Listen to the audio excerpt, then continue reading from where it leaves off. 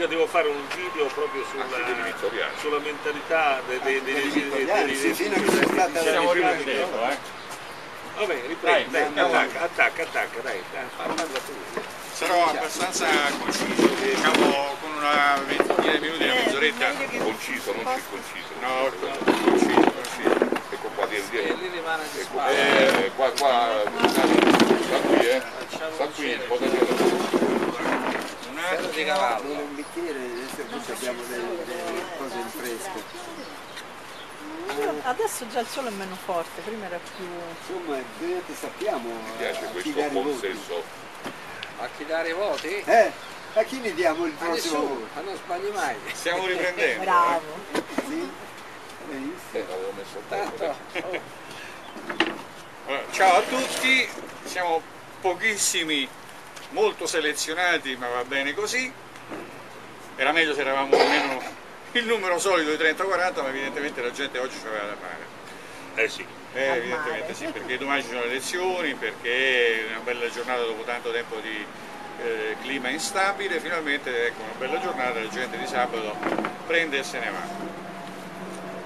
Allora, io eh, molto eh, immeritatamente ho scritto eh, un- per eh, diciamo, mio diletto personale principalmente e poi anche ovviamente perché eh, ognuno, io penso che ognuno che ha qualche cosa da dire ha l'obbligo di dirlo, soprattutto se questa cosa che deve dire può implicare la eh, diciamo, sopravvivenza eh, o il quieto vivere o la permanenza eh, diciamo, eh, nella situazione di sostenibilità della vita, eh, della interrelazione con gli altri a livello familiare, a livello personale, a livello eh, sociale e, e quindi ha l'obbligo di mantenere eh, diciamo, informata la gente sulle cose che lui può eh, diciamo, contribuire a portare a conoscenza della gente.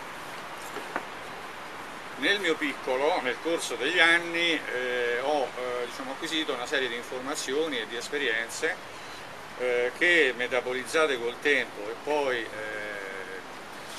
eh, ampiamente diciamo, verificate eh, di persona e, e anche poi eh, attraverso lo studio di, alcun- di esperienze di altri, come sempre si fa, oggi diciamo, sono portatore sano di un virus che mi ha contagiato come tutti all'interno una società e, e questo virus si chiama denaro, moneta, banconota, ha tantissimi nomi, eh, più o meno è come la- gli appellativi sessuali, ha talmente diciamo, boicottato il termine, il concetto in sé, per cui il cervello ha bisogno di tantissimi termini per in qualche modo giustificarli volta per volta. E c'ha circa mh, 400 modalità di eh, nominalizzazione. Molti più di quelle sessuali. dico. Sì, certo. Eh, una volta il signor, diventa un sonetto. il signor Benigni qualche tempo fa fece un elenco in televisione e ci fece un programma, una puntata di un programma televisivo sul racconto dei nomi eh, che eh, sono eh, epitetici di- de- de- degli organi sessuali. Noi ci troviamo quindi in un contesto che è molto scabroso, tant'è che ha bisogno di tanti nomi per poter essere descritto.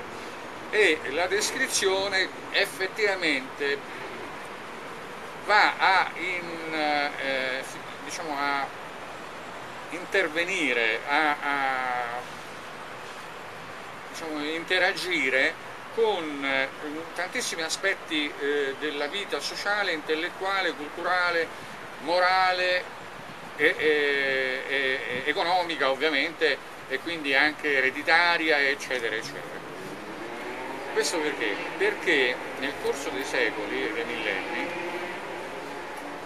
c'è sempre stata una lotta al possesso dei beni e quindi principalmente la lotta fra le culture, fra le etnie, fra le religioni sono sempre state condotte per cercare di rubare qualcosa che apparteneva a qualcun altro.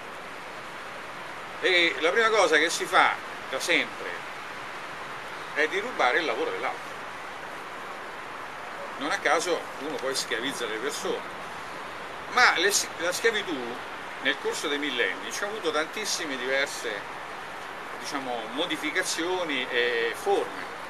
La forma attuale è quella di costringere, come diceva appunto prima l'amico, eh, la decima vittima al suicidio. Non è un caso, è intenzionale, è una metodica, è matematicamente calcolato. Infatti oggi vediamo che c'è di 5 milioni circa di partite IVA che avevamo 10 anni fa, oggi ne abbiamo 4 milioni e cioè in 10 anni abbiamo ammazzato la decima vittima un milione di volte. Non era questo che mi ero preparato, ma mi è uscito fuori così. Eh, allora, eh, però è, è, è, avevo individuato lo stesso il, il, focus, e cioè quello che io eh, sto dicendo adesso e che molto impreparatamente sto dicendo adesso, eh, è che incredibilmente però eh, si va a ricollegare a quello che avevo previsto di dire, e cioè che c'è questo libro che io ho scritto è un pretesto, è un'istigazione e una provocazione, cioè è qualcosa che serve o servirebbe alla gente che se bontà loro vorrà partecipare nelle prossime occasioni che presenteremo il libro avrà modo di verificare, cioè per cercare di portare avanti un dialogo che in moltissime persone non è per nulla chiaro, apposta a proposito di quelle que, que, quei sostantivi che identificano la moneta, non a caso la moneta si chiama svanzica in tedesco, si chiama pecunia in latino, eh, capita, eh, scilo, eh, che abbiamo detto prima, eh, tallero, eh, dollaro che deriva da tallero. Il dollaro che deriva da tallero, di 200.000 nomi, abbiamo detto circa 400, perché? Perché servono in ogni situazione a definire una particolare sfaccettatura, un particolare taglio del concetto della moneta. Eh, e quindi un, potremmo stare, eh, qualcuno mi ha detto, diceva, tu hai scritto la storia della moneta? No, non ci penso minimamente, perché la raccolta di tutte le enciclopedie mondiali su qualunque campo vogliamo andarla a identificare è comunque una storia della moneta perché da sempre tutta l'opera dell'uomo viene quantificata in moneta, che sia tabacco, che sia le noccioline, che siano le conchigliette, le conchigliette eh, raccolte, che siano gli armenti, comunque sia... Pecore. Cioè, l'abbiamo già detto. detto. Eh, e quindi eh, in qualunque modo comunque eh, diciamo, raccolgono tutta la manifestazione dell'animo umano e della capacità e dell'abilità umana. E questo è una bellissima cosa. Il problema è che, allora, mm, bisogna fare un attimo un passo indietro, la nostra civiltà attuale è nata più o meno, dicono, eh, nell'ambito della Mesopotamia, dell'Asia minore o dell'Indo, non si sa bene esattamente, fra i 5.000 e i 7.000 anni avanti Cristo, il che non è vero, perché è eh, inconfutabilmente provato che tutto nasce a seguito della piccola glaciazione di Worm, e cioè fra il 10.000 e il, 12, e il 9.000 a.C. Quindi parliamo di 2, 3, 4.000 anni prima. Che abbiamo fatto in quei 2, 3, 4.000 anni prima? Abbiamo vissuto nella valle dell'Eden, abbiamo vissuto nel paradiso, quello che diceva la signora prima. Cioè, non è esattamente così, ma nei primi millenni L'uomo, siccome era veramente un peso eh, demografico bassissimo sul territorio, poteva tranquillamente fare la, la diciamo, eh, raccolta in, in, territori abbastanza circoscritti perché fra l'altro vivevano in un'epoca dopo la, la, la, piccola glaciazione di Worms che andava verso il caldo e quindi aumentava sempre più la produttività eh, di qualunque specie animale o arborea e quindi aveva questa capacità di sostentamento della massa umana che c'era, della piccola massa umana che c'era all'epoca. Quindi per almeno 4.000 anni l'uomo ha potuto vivere transumando in piccoli eh, diciamo, ambiti territoriali, più o meno rimanendo stanziale, e avendo la possibilità di sostentarsi e di crescere anche come numero e quindi di crearsi quelle competenze, quelle conoscenze eccetera che poi attorno al 5000 a.C. hanno potuto dare modo allo sviluppo del, del, delle tecnologie eh, agricole e dell'allevamento e da lì poi però arriva il problema perché mentre prima uno raccoglieva e non capitalizzava un cazzo certo dopo hanno cominciato a capitalizzare. Perché? perché mentre tutti prima avevano una struttura orizzontale tutti erano uguali tutti raccoglievano allo stesso modo e c'era bontà di cibo e, e diciamo, esuberanza di cibo quanto, e abbondanza di cibo quanto uno ne voleva. Dopo non c'è stato più possibile. E quindi chi aveva un, un, un terreno e lo coltivava o aveva un, un regge di pecore e lo allevava non lo voleva dividere con l'altro che non aveva fatto nulla o che aveva fatto altro, gli, gli aveva detto male. No? l'accumulo comincia in quel momento. Arriva nel momento in cui entra la tecnologia, entra l'agricoltura, la scienza, l'allevamento. Eh, cioè queste prime diciamo, eh, grezze eh, tecnologie di produzione di massa, di produzione diciamo, eh, eh, di eh, in una catena di produzione, diciamo così, in una filiera, eh, incomincia a creare la specializzazione per quello che riguarda la, la, conoscenza tecnica da parte del singolo individuo e quindi la frammentazione del sapere.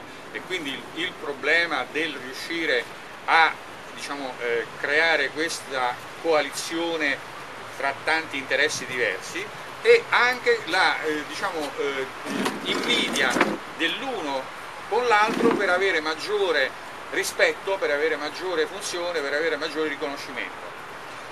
Questo crea l'ambito.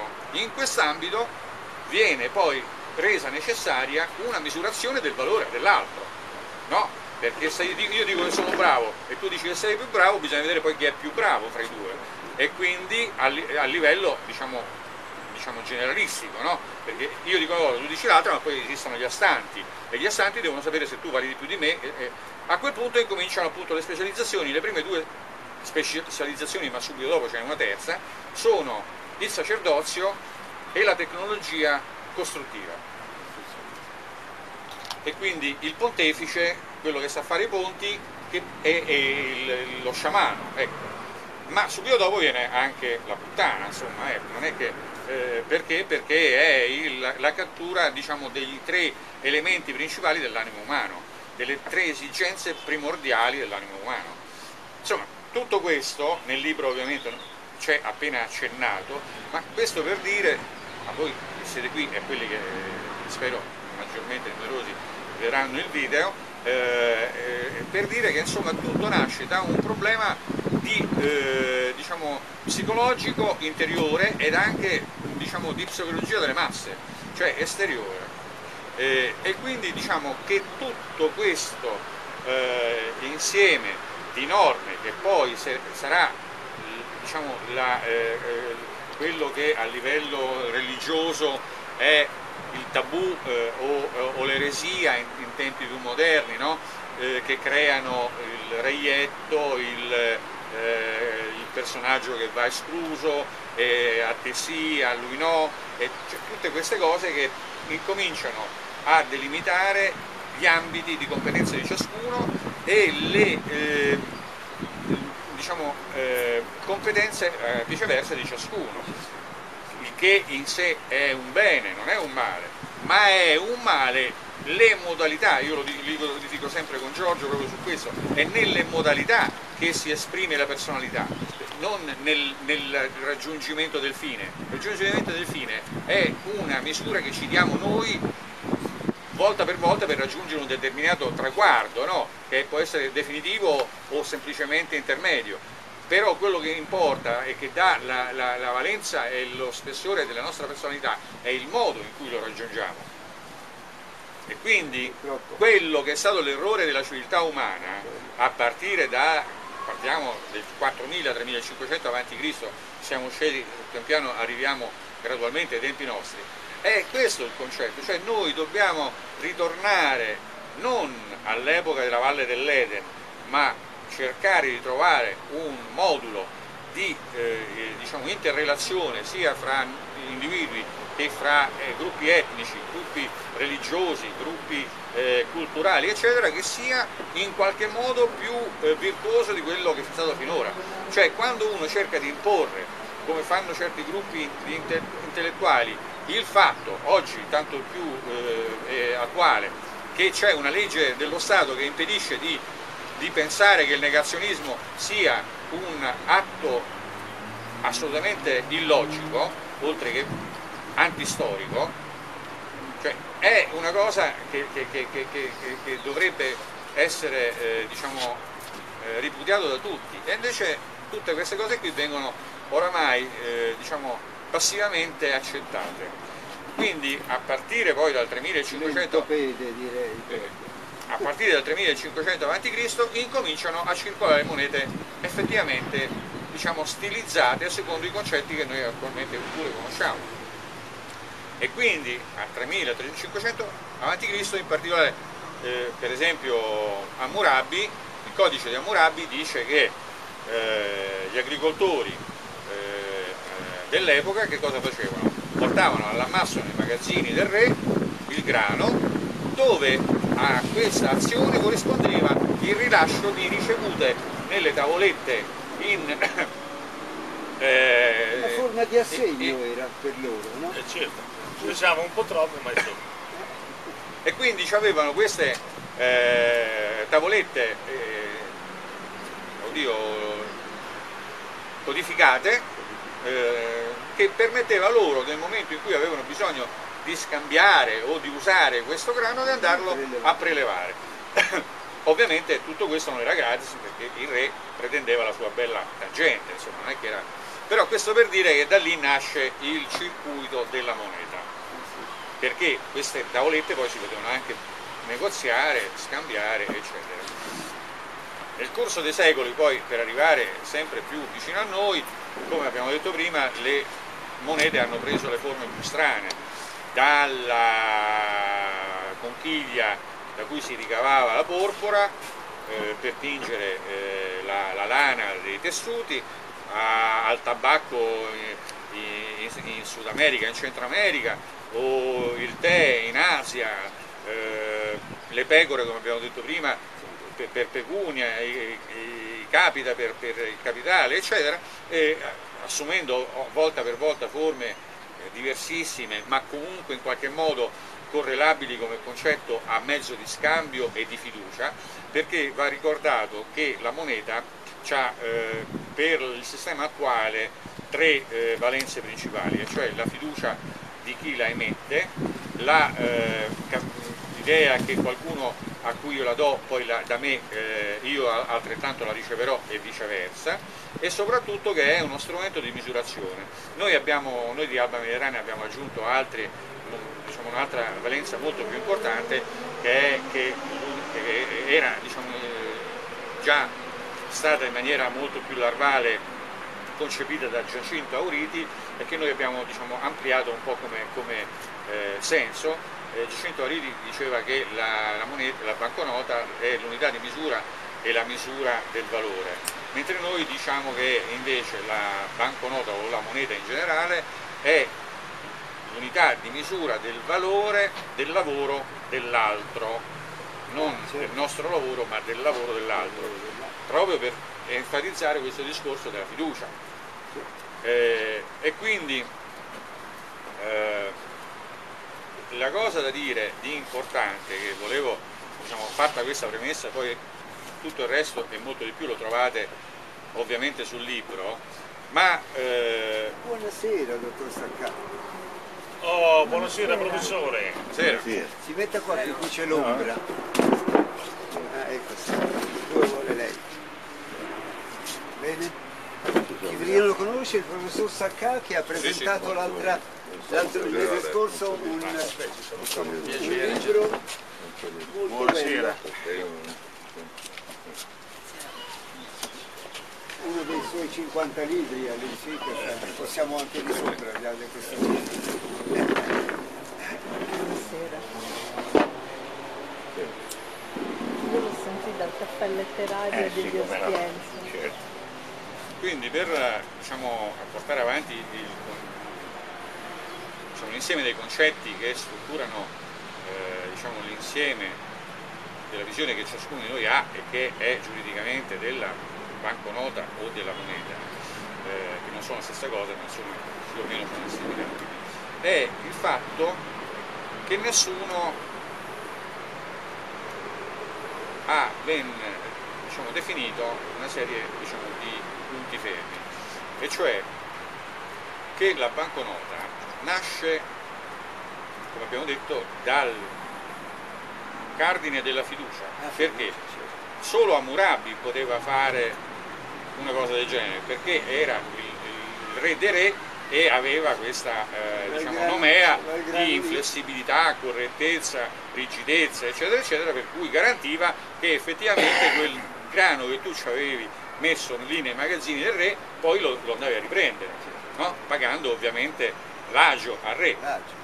Quindi il discorso è che ci deve essere, come su tutte le monete, messa la faccia, No, perché mettono la faccia dell'imperatore, del re e quant'altro? Perché serve la garanzia di una persona affidabile. Affidabile è riconosciuta da tutti affidabile. E quindi, Infatti sull'euro non c'è nessuna faccia. Aspetta che ci arriviamo e, e non predire tutto. E non prevenire. E io sto dicendo, sto facendo tutta questa solfa per arrivare lì. Abbi pazienza. Eh. Non mi bruciare i termini, per favore. Allora, la cosa importante da dire quindi è che c'è la garanzia, ci vuole la firma. Infatti in tutte le firme, in tutte le monete sia di conio che scritte c'è la fascia, oltre che eh, diciamo, la garanzia del eh, conio, del, della, del tasso di valore all'interno della banconota di metallo, eccetera, eccetera, che garantiscono che quel valore sia davvero, quella moneta sia davvero portatrice di quel valore. In epoca poi più recente, attorno al 1200, ma le cambiali esistevano già in India, eccetera, eccetera, ma parliamo di tempo moderno a livello occidentale. Attorno al 1200 nasce la nota di eh, cambio, che è precedente alla nota di banco, eh, di un secolo circa. Insomma, la nota di cambio è una lettera al portatore che uno andava in viaggio in Inghilterra a comprare eh, la lana inglese oppure andava che ne so, in Libano a comprare le spezie, si portava questa nota di cambio, andava lì, c'era il referente locale del eh, banchiere, dell'usuraio, chiamiamolo come vogliamo, a cui io facevo riferimento a casa mia e lì lui mi dava l'equivalente in metallo prezioso, l'argento, oro, quello che era, in funzione di quello che stava scritto sulla nota di cambio. Quindi c'era un bel sigillo di garanzia, c'era la firma e anche il codice segreto che si scambiavano questi, questi per far riconoscere che erano effettivamente loro, eccetera, e tutta eh, una serie di, di, informazioni sul portatore e quant'altro. No? E che cos'è questo se non la cambiale? La cambiale è il titolo al portatore ufficiale, legalizzato, come poi vedremo, dalla Convenzione di Ginevra del eh, 1930 che è stata sottoscritta da 41 stati all'epoca e è stata poi ratificata dai 41 parlamenti di quei stati eh, fra cui c'era il Brasile, eh, l'India, l'Ucraina, eccetera, insomma una serie di, di, eh, di stati molto importanti, guarda caso però gli Stati Uniti non ci sono, tanto per cambiare. Gli Stati Uniti raramente firmano, ratificano i trattati internazionali, come quello di Oslo, eccetera. Allora, quindi in quel contesto lì, questa Convenzione internazionale di Ginevra del 1930, viene riconfermata quella che è la tradizione eh, di 800 anni di storia della cambiale, e cioè che la cambiale deve, per essere definita tale deve portare tutti quegli elementi, quei 10 elementi specifici che contraddistinguono il titolo del portatore. E, e quindi da quel momento lì, a partire dalla nota di cambio e poi gradualmente con tutti i suoi sviluppi, nasce la, la, la nota di banco e poi la banconota, eh, che altro non è che l'erede standardizzato della nota di cambio. Eh, eh, perché? Perché quella viene fatta in serie. La nota del banco è fatta in serie perché viene integra dentro di, di sé nella facciata o nel retro della, della, della carta pecora o quello che, che sul materiale su cui è scritto, praticamente integra in sé tutti i dieci elementi che contraddistinguono la nota di banco, standardizzata però. Quindi poi viene recepito nel corso dei secoli questo concetto, per cui poi la banconota diciamo, prende eh, piede in secoli successivi in maniera diciamo, esplosiva. Eh, esplosiva, proprio mm, pesantemente eh, esplosiva e quindi diventa diciamo, eh, diffusa perché esplode l'economia dei, paesi, eh, dei primi paesi industriali o addirittura già eh, anche prima e eh, gradualmente diventa quindi uno standard e non più una mh, nota di cambio che va compilata volta per volta. Eh, e quindi assume dentro di sé il, la, valenza de, del titolo a portatore, quello che era originariamente quello della eh, nota di cambio. Oggi, per fare un salto di due secoli e passa, e tre anche, noi in tutta l'epoca eh, diciamo, moderna abbiamo avuto le banconote. E cosa ci avevano queste banconote?